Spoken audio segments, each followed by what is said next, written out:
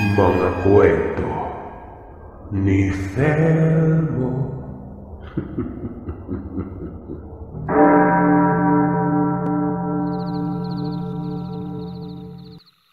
Magandang araw, Sir Seth. Isa po ako sa mga avid listener nyo. Halos lahat nata ng upload nyo, napakinggan ko na. Nakasanayan ko na na palaging bago matulog, nakikinig ako sa iyo. Hindi kasi talaga nakokompleto ang araw ko kapag hindi ako nakakapinig ng kwento niya, sir. Salamat, ma'am. Ang karanasan na ibabahagi ko sa inyo ay ang karanasan nila Lola noong nagsisimula pa lamang sila ni Lolo na bumuo ng pamilya. Tawagin na lamang natin si Lola na Sita. Marami na rin siyang karanasan patungkol sa bagat, inkanto at aswang. Pero itong karanasan niya na ito ang masasabi kong pinakapaborito ko at hindi ko makakalimutan sa lahat. Nakasanayan na kasi talaga namin na kapag uuwi kami ng probinsya o di kaya ay nasa syudad si Lola. Nagkikwento ito Sir Seth. Pagkatapos maghapunan at habang nagpapatunaw ng kinain. Ang mangyayari niyan, uupo kaming magkakapatid at magpipinsan sa may sala. At kahit na may kuryente na noong mga panahon na yon, pinapatay talaga namin ang ilaw at pinapaandar namin ang gasera para mas ramdam namin ang takot sa mga ikinikwento niyang karanasan. 15 anyos pa lamang si Lola noong nakapag-asawa ito. Alam niyo naman dati, ganon yung edad ng pag-aasawa.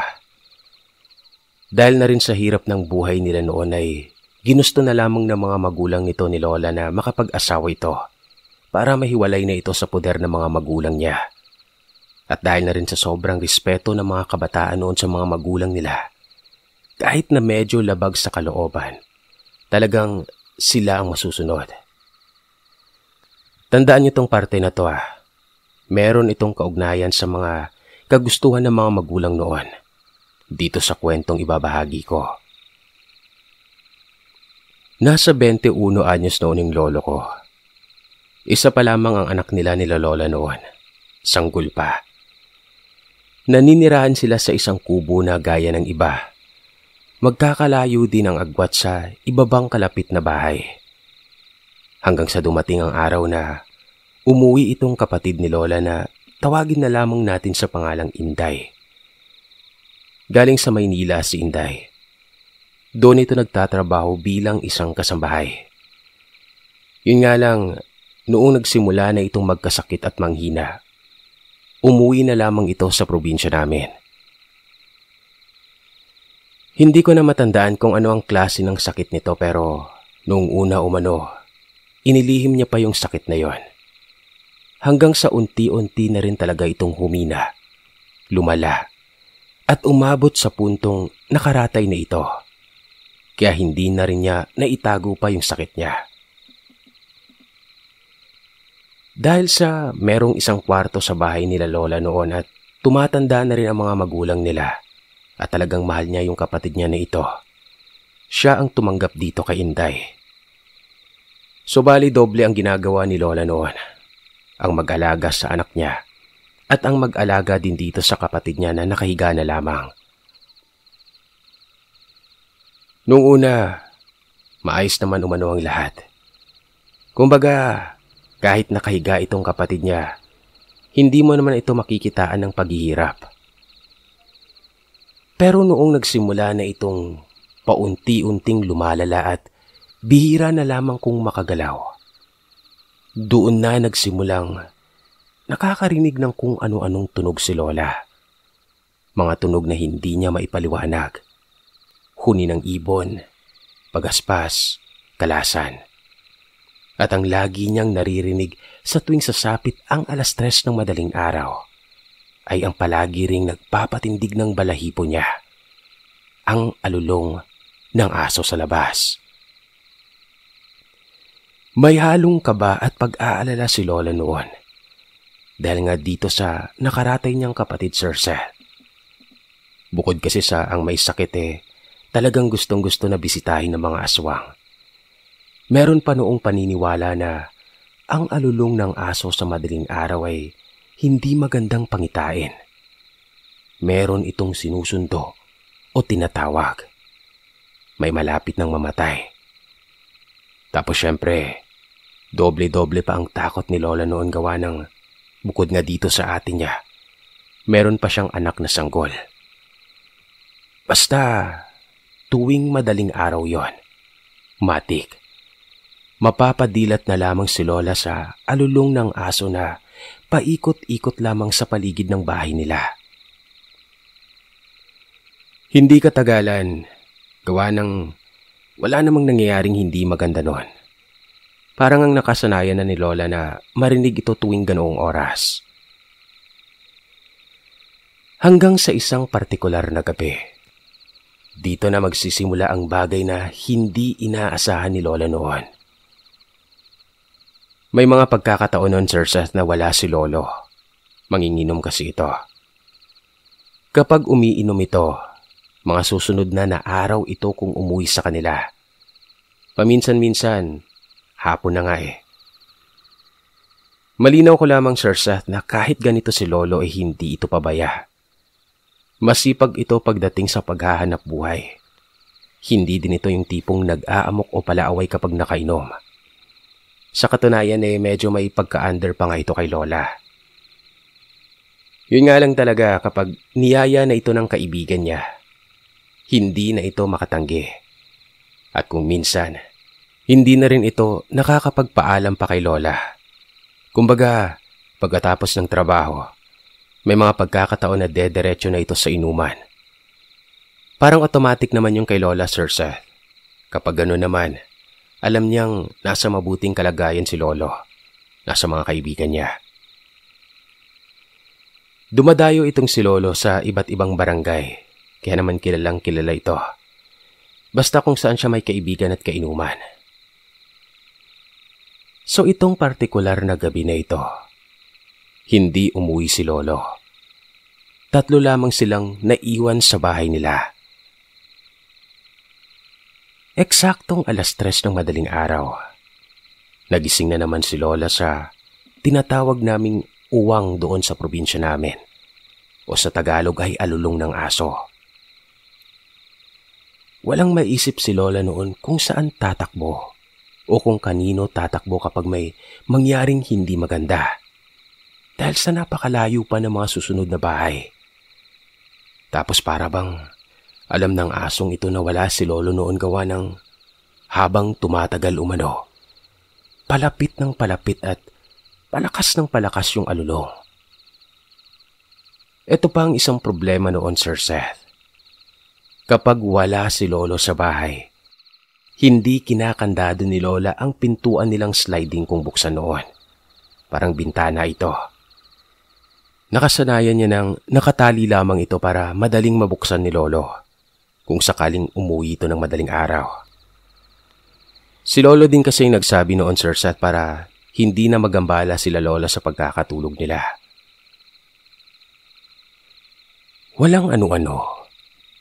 Nagulat si Lola nang marinig niyang nagkalasan ang kandado ng pinto. Tapos tumunog ito na merong bumukas. Nakahinga naman ng maluwag si Lola gawa ng nawala din yung alulong ng aso. Inakala nito na si Lolo na ang dumating noon. Tiningnan siya ni Lola dahil kitang-kita naman doon sa pwesto niya ang pinto na ito.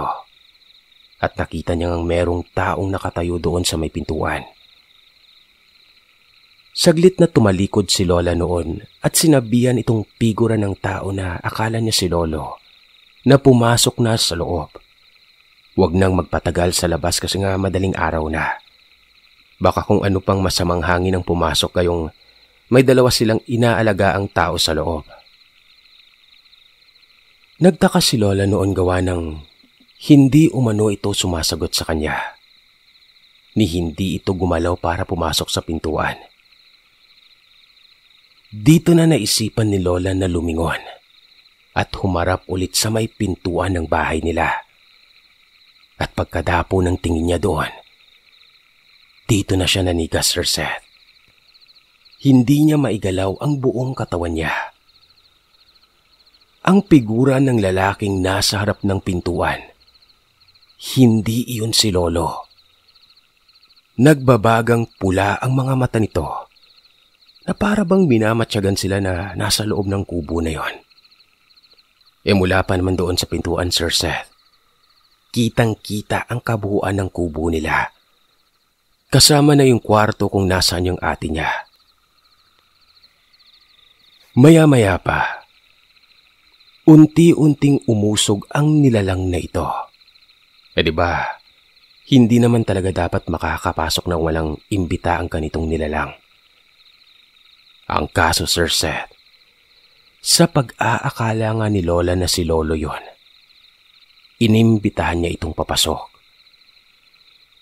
Dahan-dahan umano itong humawak sa may pader ng bahay na nasa gilid lamang ng pintuan.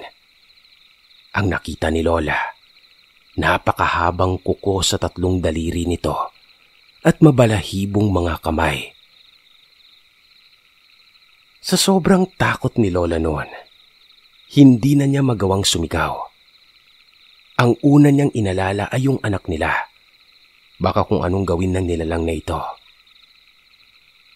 Sa isang kisap mata, nang makapasok na ito ng buo, ay isang napakalaking aso ang figura na yon. Na ayon kay Lola, kulay kayumanggi at matatalas ang mga ipin. Wala umanong nagawa si Lola noon kundi ang yakapin nito ang anak niya habang tinititigan ng mabuti ang nilalang. Kung ano ang susunod na gagawin nito. Pero ayun nga, hindi si Lola at ang kanyang anak ang pakay ng asong ito. Dahil pagkatapos nitong tumitig kila Lola, lumihis ito ng pagkakalakad at dumiretso sa isang kwarto kung saan nakaratay ang ate nito na may sakit. Hindi alam ni Lola kung ano ang gagawin niya noon. Hindi masilip ni Lola ang kapatid niya habang hawak ang anak nito. At hindi din naman pwedeng bitawan ni Lola ang sanggol dahil baka kasi madamay pa ito kung sakaling gumawa siya ng hindi magandang hakbang laban sa nilalang na ito. Kumbaga, mas nanaig ang pusong ina ni Lola noon. Mas pinili niya yung anak niya. Ilang minuto ng katahimikan ang lumipas. Lumabas ang aso na ito. Tumitig kila Lola at bigla na lamang itong tumalon palabas ng pintuan. Dito na bumalik sa ulirat si Lola. Patakbo nitong tinungo ang pinto at sinara. At nang makasiguradong nakakandado na ito, dali-dali niyang pinuntahan ang ate niya. At sa kabutihang palad, kahit na may halong pagtataka, walang nangyari dito kay Inday. Nagpapahinga ito ng tahimik hindi na nakabalik ng tulog si Lola noon. Hinantay na lamang nitong makarating si Lolo. At sakto nga noong magliwanag ay dumating ito. Ikinuwento ni Lola sa kanya ang nangyari. At gawa nga ng sa tinagal na ni Lolo sa lugar. At sa ilang beses na niyang paroon at parito ng madiling araw. Hindi ito naniwala kay Lola. Yung tipong nagtalo pa nga sila dahil dito. Isang gabi ulit, Ganun na naman.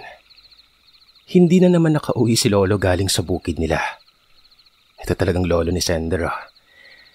Inasahan na ni Lola na nakiinom na naman ito. Ayaw sanang matulog ni Lola noon dahil sa takot na baka maulit itong nangyari sa kanila. Ang plano niya ay hihintayin niya sana si Lolo na makauwi para makasigurado siyang ligtas silang mga nandun sa bahay. Yun nga lang Sir Seth, dahil na rin siguro sa buong araw na pag-aalaga ng bata at sa atin niyang si Inday. Hindi niya namalayan sa pagod na nakaidlip siya. Pero noong may masmasan ng konti at bago siya makatulog ng tuluyan noon, sinigurado ni Lola na nakakandado na ang pintuan ng bahay nila. Manipis lamang din ang kandado nila na ito, Sir Seth. Para bang DIY na galing sa kadena Sabi ni Lola, bahala na daw si Lolo kung uuwi ito ng madaling araw. Mas maigi nang magising siya o maistorbo ang pagkakatulog niya kapag dumating si Lolo. Kesa naman lapain sila ng papasok na kung anong nilalang nang wala silang kaalam-alam. Alas tres ng madaling araw. Napadilat na naman si Lola noon dahil sa pamilyar na tunog. Yung alulong. Kahit medyo kinakabahan siya noon, syempre kampante siya gawa ng nakakandado na yung pintuan ng bahay. Siguradong sigurado siyang sinara at kinandado niya yon Sir Seth. Kaya naman gano'n na lamang ang pagtataka at hilakbot niya. Nang bigla na lamang nagkalasan ang kandado ng pinto. At dahan-dahan itong bumukas. Nung lingunin ni Lola ang pintuan nila, Pumasok na naman sa pangalawang beses ang bisita nilang ito, yung aso. Gaya noong nakaraan, tumitig muna sa kanila itong mag-ina. Tapos tuloy-tuloy na naman itong pumasok sa loob ng kwarto ng ate niya. Ilang minuto pang lumipas. Lumabas ito at tumalon ulit sa may pintuan. Dali-daling pumunta si Lola sa kwarto ng ate niya na noon ay gising rin. Nang tanungin niya kung nakita niya ba yung aso na pumasok at kung ano ang ginawa nito sa kanya. Hindi umano ito umimik o nagsalita man lamang. Nang makasiguradong nasa maayos naman itong kalagayan, lumabas na itong si Lola. Hindi ulit siya nakatulog noon, lalo na noong makita niya na yung kandado ng bahay nila Sir Seth. Sa maniwala man kayo sa hindi. Para umano itong isinalang sa apoy gawa ng natunaw ito na siyang naging dahilan para mapigtas at mabuksan ang pintuan. Siguro Sir Seth, tama nga ang kasabihan na basta isang beses mong naimbitahan na pumasok ang isang aswang, kahit na anong sara mo ng pinto, Ganon na ganon ang mangyayari. O di kaya ay may alam itong nilalang sa kung paano sirain yon para makapasok. Hinintay ni Lola si Lolo at pagkarating ito ay kinumpronta nga niyang asawa dahil bumalik na naman ang aso at wala siya sa bahay nila. Pinakiusapan niya si Lolo na kung maaari ay wag na munang gumala noon. Pinakita nito ang tunaw na kandado kay Lolo para patunayan na totoo ang sinasabi niya. Dahil sa pangalawang beses na itong nangyari at meron ng ebidensya, hindi na muna uminom si Lolo nang malaman yon. Minanmanan niya kung anong aso ang nagsira ng kandado ng bahay nila. At sumapit nga ang ikatlong madaling araw. Dumayo ulit ang nilalang na ito sa bahay nila.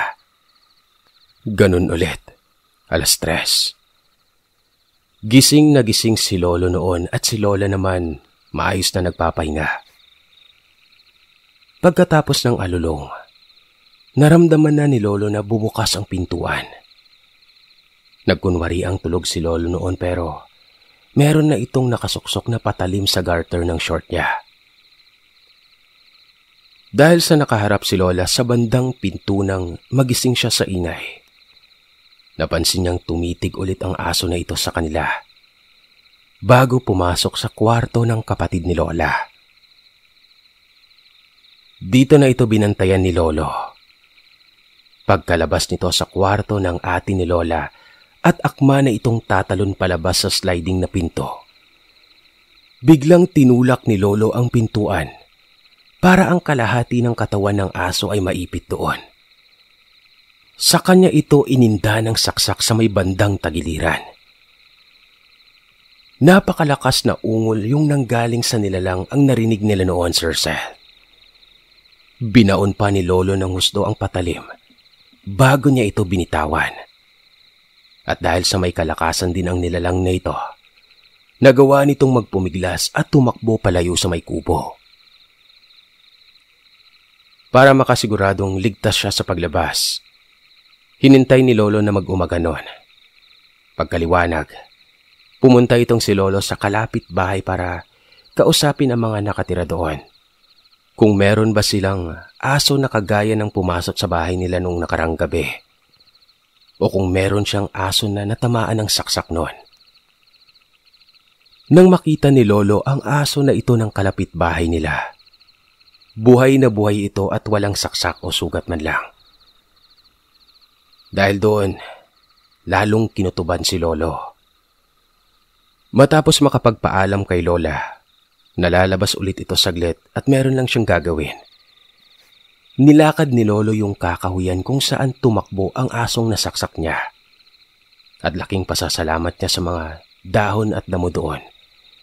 Gawa ng may mga bakas ng dugong dumikit sa mga ito.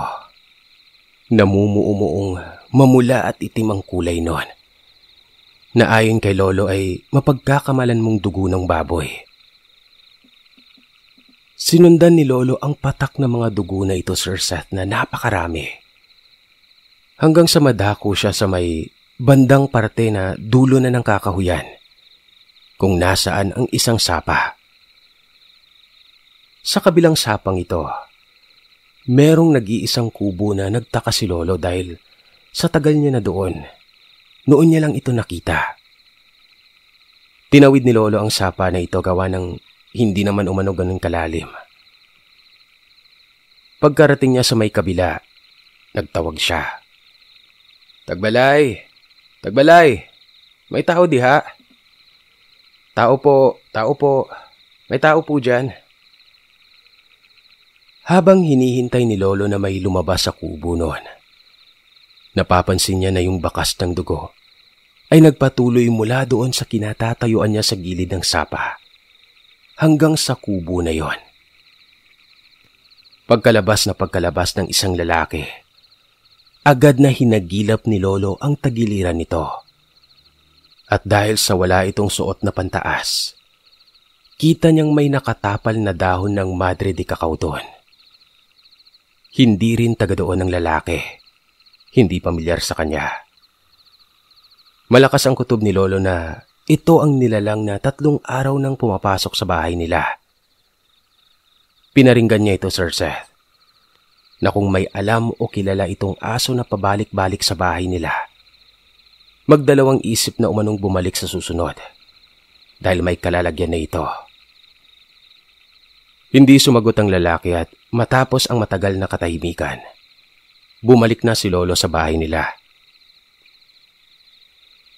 Hindi sila sigurado kung meron bang kinalaman ang pagsaksak ni Lolo sa pinaghihinalaang aswang. Pero matapos lamang umano ang ilang araw noon, kumalat ang balita na meron ngang natagpo ang lalaking wala ng buhay. Doon sa kubo na nasa kabilang sapa. Ipinagbigay alam nila ito sa atin niyang si Inday. Tuwang-tuwa pa umano si Lola noon gawa ng wala nang mangiistorbo sa kanila at mapapalagay na yung loob nila dahil wala nang bibisita ng gabing yon. Pero imbis na matuwa ang atin nito, Sir Seth, biglang nag-iba ang mukha nito. At sa tagal ng panahon na hindi ito kumikibo, nagulat si Lola nang sabihin nito na bakit umano sinaksak? Bakit namatay o pinatay? Eh hindi naman umano sila sinasaktan. Dito na nalaman ni Lola ang tunay na kwento ng ate Inday niya at ng aso na yon. Lingid sa kaalaman ni Lola Sir Seth. Kaya pala lumuwas ng Maynila itong ate niya ng bata-bata pa ito. Gawa nang nagkaroon ito ng tagong relasyon sa isang lalaki na ang usap-usapan noon ay isa nga umano sa may lahing aswang. Nang malaman ito ng mga magulang nila Lola, itinago pa rin nila ito sa kanilang magkakapatid pero pinilit itong si Inday na lumuwas ng Maynila para maiwasan itong lalaking ito. Ang akala nga ni Lola noon eh, kusang lumuwas lamang sa kagustuhan niya itong ate niya. Hindi pala. Alam ni Inday noon pa man na Totoo ang usap-usapan na yon. Pero kaya niya ito nagustuhan gawa ng napakabait umano nito at hindi siya sinasaktan. Kumbaga siya yung totoong patunay na hindi lahat ng mga ganitong nilalang ang habol sa tao ay pagkain at laman. Pagkatapos noon, sinabi ng ate ni Inday ni Lola na kunin ang mga bagay na nakaipit sa ilalim ng unan na hinihigaan niya. Tatlong pulseras na gawa sa maliliit na kabebe ang nandun, Sir Seth. Ito umano ang rason kung bakit pumapasok ang aso sa loob ng kwarto niya at hindi siya inaano. Binibisita siya nito at sa tuwing bumibisita ito ay dala niya ang regalong pulseras kay Inday. Kaya nga tatlong pulseras din yun kasi ba? Tatlong beses itong bumisita. Hindi din nila alam kung nagkataon lang din ito, Sir Seth, pero ilang araw matapos noon, si Inday naman ang pumanaw. Nalungkot sila Lola noon, gawa ng hindi na sila nakapag-usap ng maayos. Pagkatapos nga malaman ni Lola ang lahat at ang totoo. Kaya hindi din niya alam kung natahimik na ba ang kapatid niya na masaya. O masama ang loob nito dahil sa ginawa ni Lolo doon sa bumibisita sa kanyang nilalang na dati niya palang kasintahan.